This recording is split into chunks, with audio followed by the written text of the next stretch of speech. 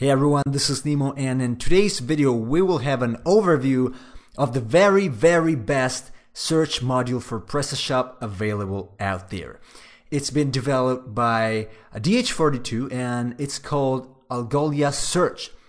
Now, if you don't know Algolia, you're missing out the fastest search API of the web. And what the module does is it implements this awesome API into PrestaShop.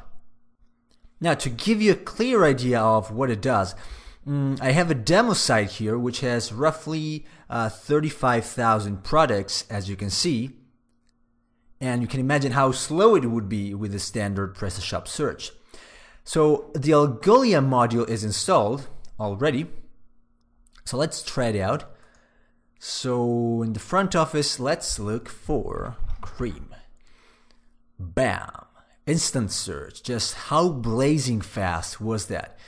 Not only, it also gives you filters, which you can of course uh, define in the back office that can help your customers refine the search. And there's no comparison at all with that ugly layer navigation, which by the way is also limited to categories. See how fast this is as well, just blazing fast. Now, before continuing, you should know this module is not free, but the base version here costs $150. And Algolia is a paid service as well. However, I know the developer of this module is working on a distributable demo version, and Algolia has a free 30 days trial as well. So anytime soon, you should be able to test this module in any case for free for purchasing. So let's talk a bit about the back office.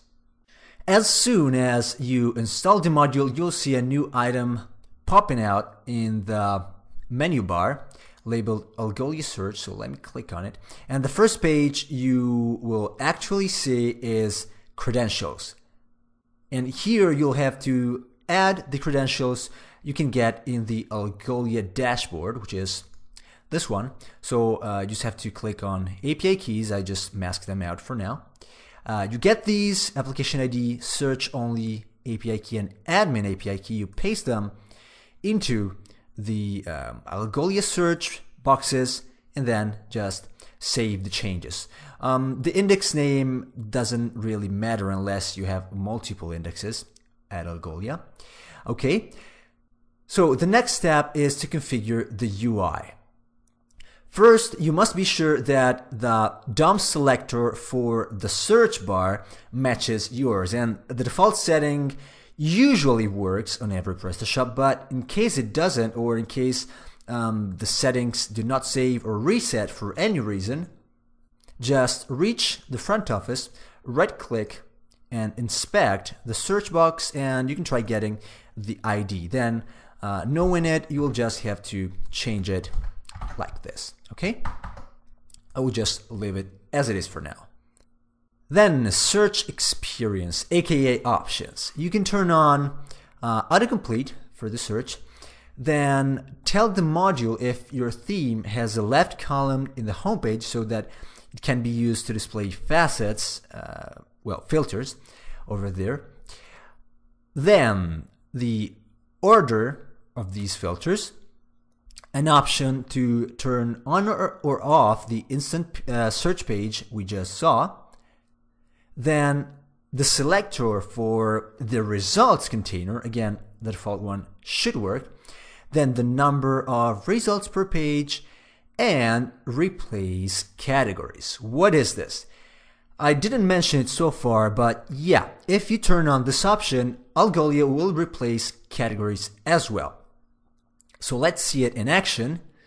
Let's say skincare. Let me close this first. Skincare.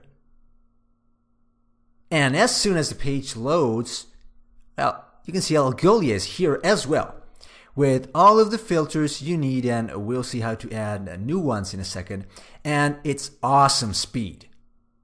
So back to the admin panel. The last option for the UI lets us choose a theme among three. The first one is for uh, the default template, then for Transformer and Warehouse, which are the most popular PrestaShop themes at the moment. Then, attributes. These represent the filters or facets you might want to display.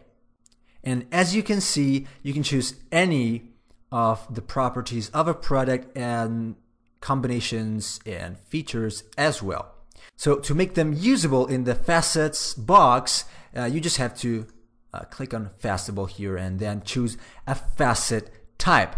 Uh, this column is used to decide how the filter should work. If in conjunction with others, um, or like a menu so that you can choose multiple entries at the same time, or a slider as you could see here for the price. Searchable configuration now.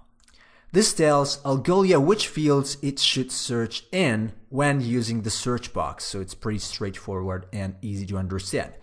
Ranking lets you define the importance of each field so that you can really tailor the search on your business needs.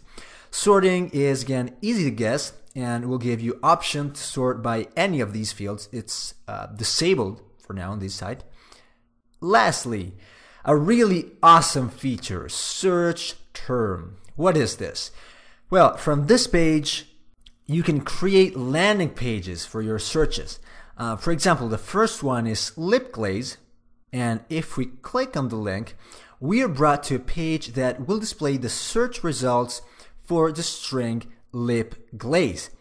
And of course, it takes full advantage of Algolia's speed and filters, but it's amazing because the page can easily be indexed by search engines and it's also user friendly. I don't know if you can see it, uh, you should now. You can see you have a specific uh, page URL friendly URL for this search result instead of the ugly uh, normal search query with all weird parameters and so on. Of course, you can define um, a meta title, a meta description, and you can choose the rewritten URL as well for the search term um, you want to look for. Just great. Now, after configuring the back office, before you can use Algolia, you need to index products. And to do this, um, simply hit re-index data at the top. I will not do it for now, of course, but it will take um, from a couple of minutes up to about half an hour depending on the size of your catalog. This site, uh, site which, as I said, has about 35,000 products, takes roughly uh, 20 minutes or so to index the whole catalog. Alright, I think we are done with this video. I hope you got excited about this fantastic module as I am. So don't miss the chance to check it out at the URL you will find on screen now, as well as in the video description. And if you like the video, please subscribe the channel and follow the blog at nemops.com for more great PrestaShop tutorials and tips. Thanks for watching. I will see you next time.